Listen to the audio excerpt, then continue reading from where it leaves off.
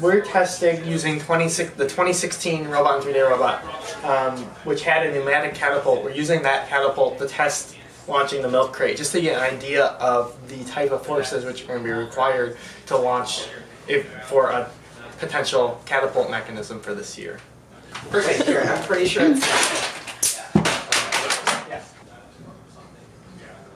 Okay, that's gonna go into your face. That one was actually kind of strong. That was better. No, Uh, it was higher the than top that. of the art was like over here. Yeah, Let's try it one more time. giving us, but Yeah, so it wasn't, it was, you caught it it before was. it even popped. I popped caught off.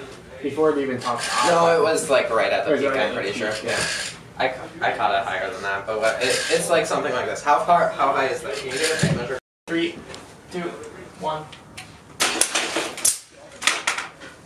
That time the bottom was like here. Yeah, no. So- So the top was at least here. Yeah, yeah. The bottom was like at this mark. So that's So what- actually what- this mark is is the that six foot mark. The The So, top probably just cleared seven. Okay. So Super close. so we have a crate length to go.